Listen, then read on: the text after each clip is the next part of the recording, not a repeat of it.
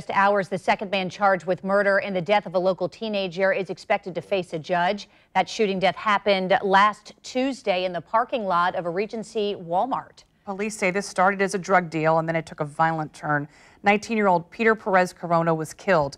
Police say yesterday, 21-year-old Michael Carter II turned himself in after seeing his own picture on the news reports and also on social media.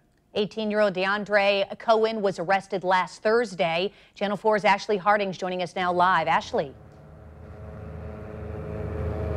Yes, Jen, good morning. Jail records show Carter is due in court at 9 o'clock this morning. Now, because Cohen was arrested last week, he has already been before a judge and is not due back until next month. But again, they're both charged with multiple felonies, including armed robbery as well as murder.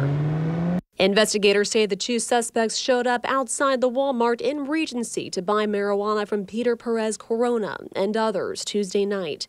When they got there, investigators say Cohen didn't have the amount of money agreed upon. They pulled out a handgun and tried to rob the witness of the, of the marijuana. Uh, Peter attempted to intervene, and when he got out of the car and approached Cohen, Cohen uh, fired his gun and shot Peter in the head. That's when police say Cohen took off, and the next morning they were able to identify him and put out a warrant for his arrest. On Thursday, police found him and charged him with attempted murder.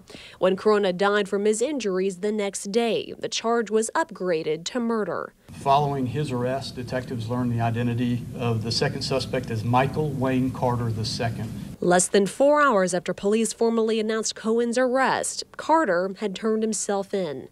Both are being held without bond. And News4JAX briefly spoke to the family of DeAndre Cohen, who say they are meeting with the NAACP to discuss their son's case. And News4JAX will be inside that courtroom. Of course, we will keep you up to date on this story as it transpires. Reporting live this morning, Ashley Harding, Channel 4, the local station.